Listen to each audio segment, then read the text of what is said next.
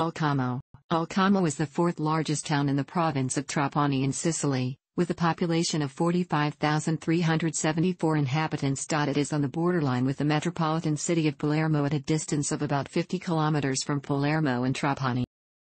Nowadays the town territory includes an area of 130.79 square kilometers and is the second municipality as for population density in the province of Trapani, after Erice.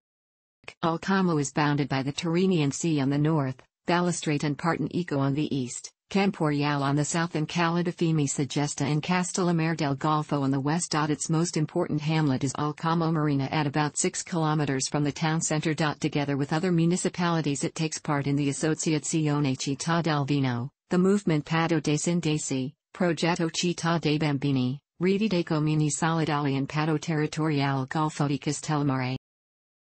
Alcamo is situated in the middle of the Gulf of Castellammare, at 258 meters above the sea level and at the foot of Mount Bonifato, a calcareous complex 825 meters high.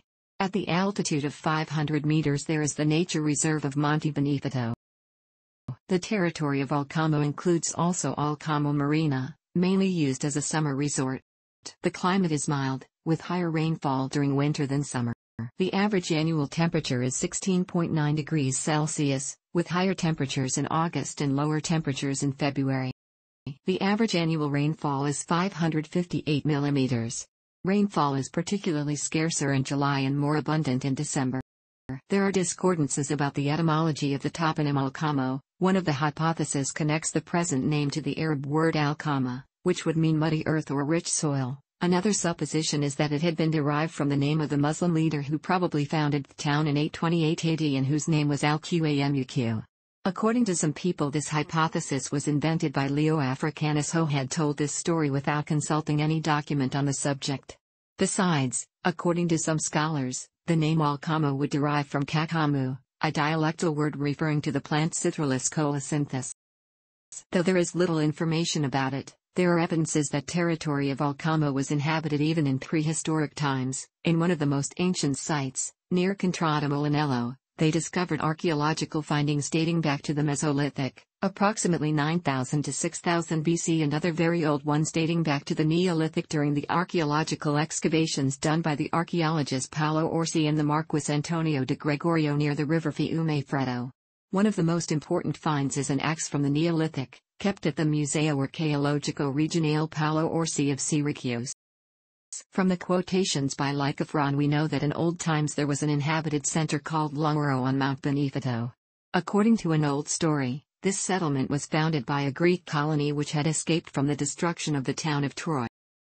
During the Roman period the inhabitants of Longro moved to the foot of the mountain so they could practice agriculture in the surrounding lands. The town was called Longaricum, this name appears in the Itinerario di Antonino Pio and would coincide with the Latin name of Longro.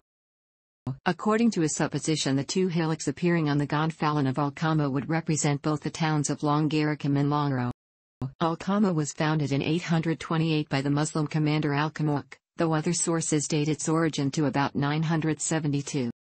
The first document mentioning Alcamo is dating back to 1154, in a paper written by the Berber geographer Idrisi who was given this task by Roger II of Sicily in order to get a collection of geographic maps.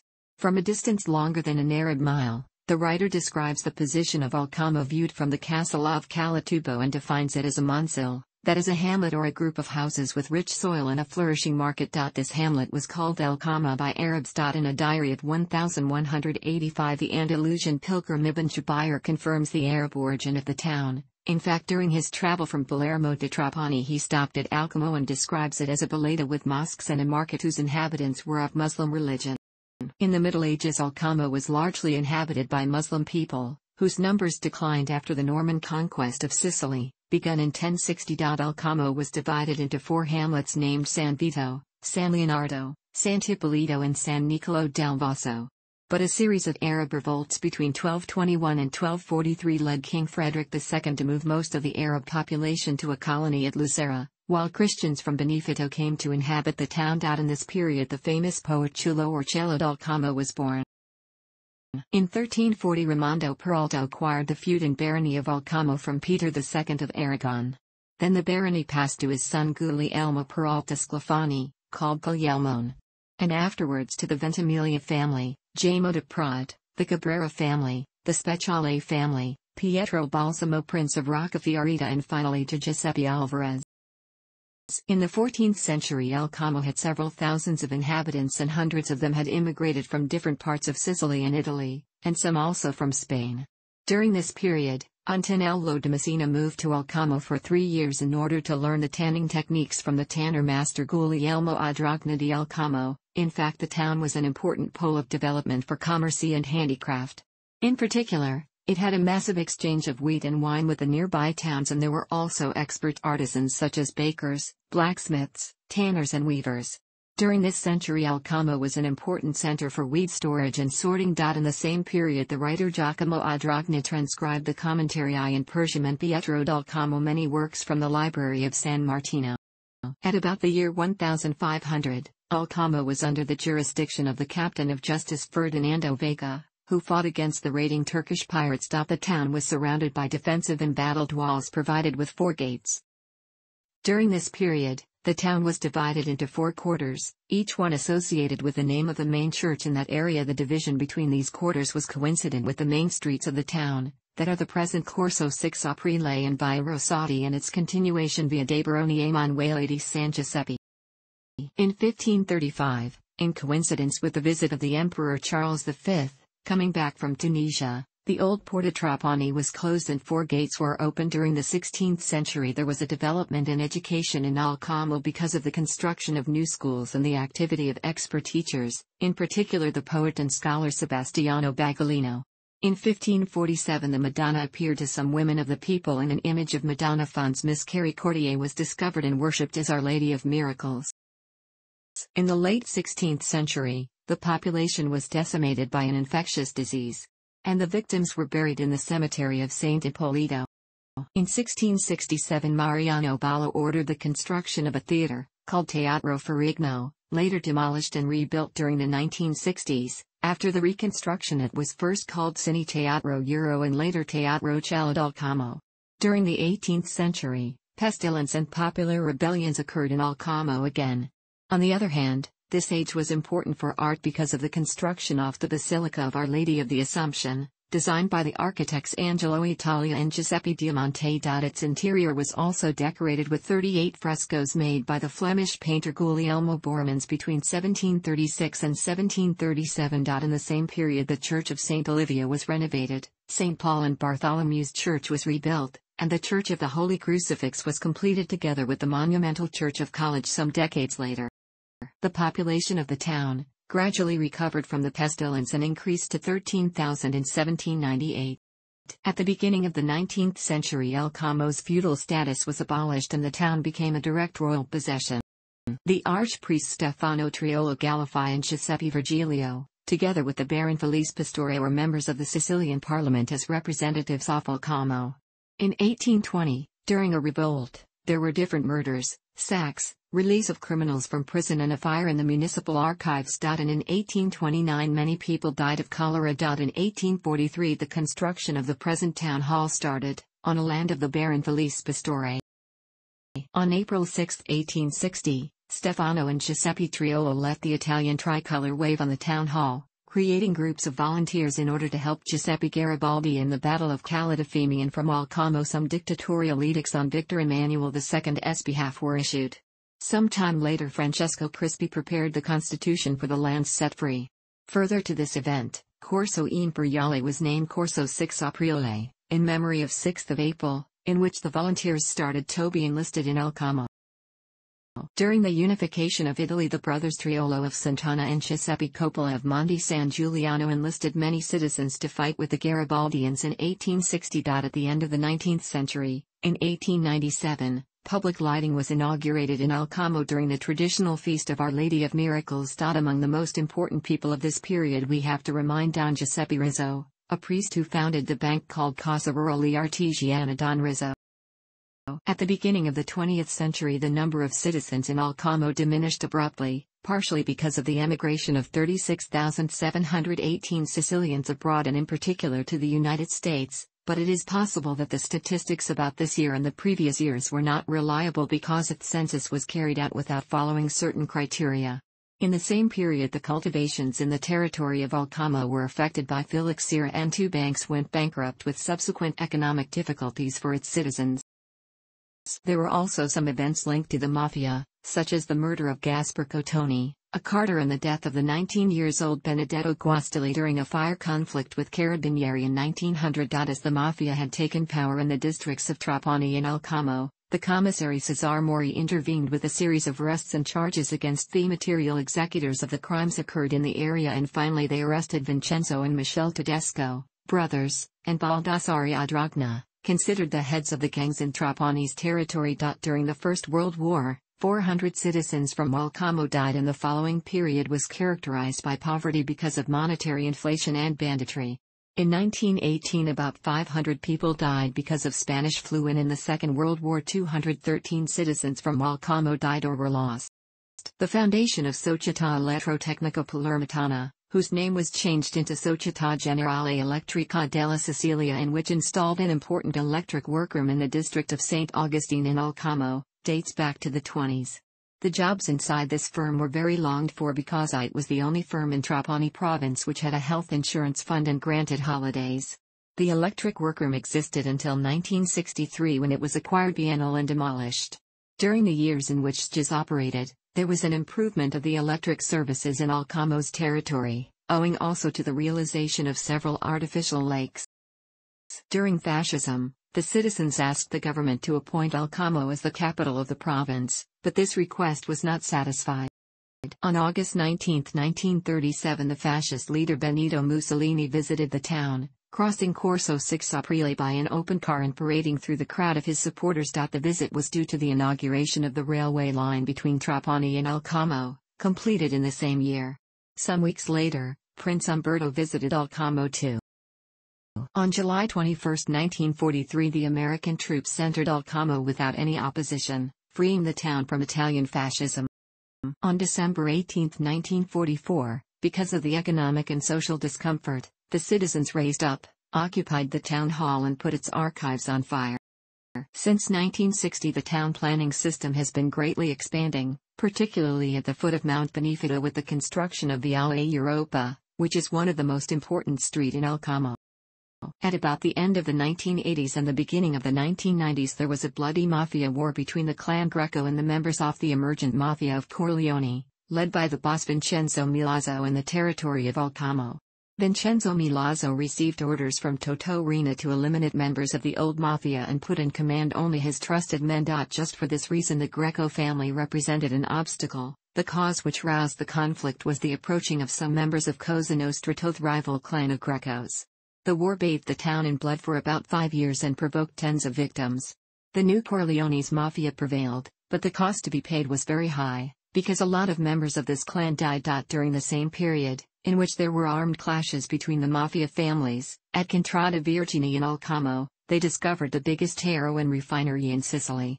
Tens of people died in five years, and at the end the mafia of Corleone prevailed. While the crimes of the mafia went on and tens of people disappeared as victims of lupara bianca, there was a religious revival which led to the birth of several Catholic associations such as Rinnovamento nello Spirito Santo, Neo-Catechumenal Way and the movement of Comunione e Liberazione. From the last one the parish community of the Church of Jesus Christ the Redeemer originated in the district of Sant'Anna.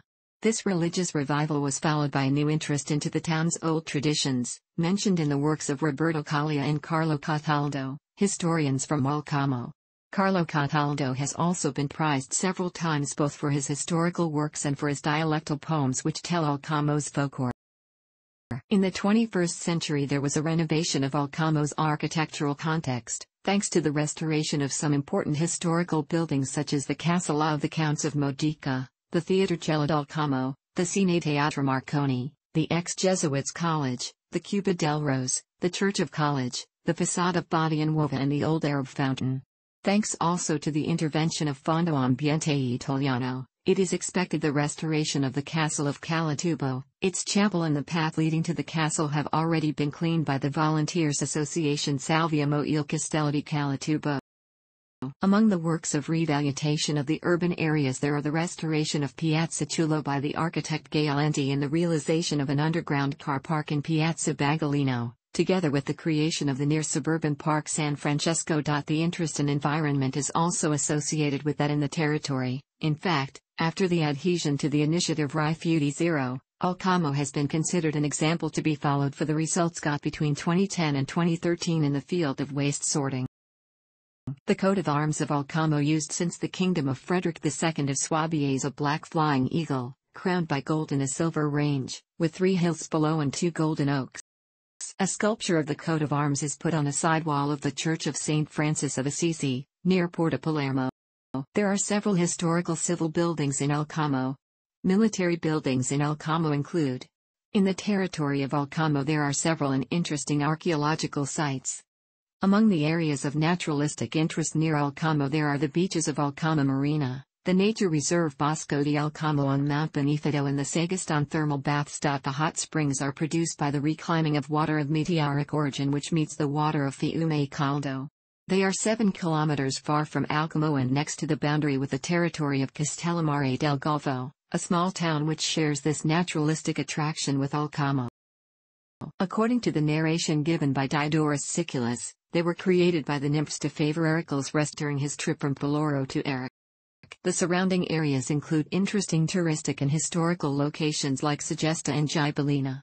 The old fishing village of Scopello, from Alcamo, has been referred to as having a remarkable seaside. Another small town considered worth visiting is Castellammare del Golfo which is between these two places.